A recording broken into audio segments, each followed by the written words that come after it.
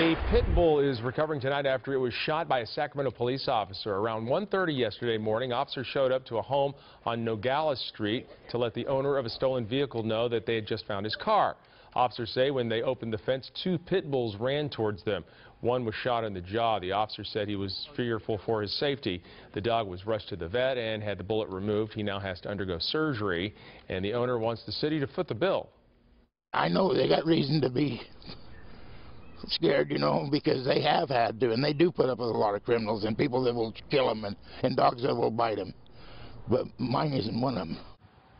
Police say this is unfortunate and a position no one wants to be in. They say the owner can file a claim with the city.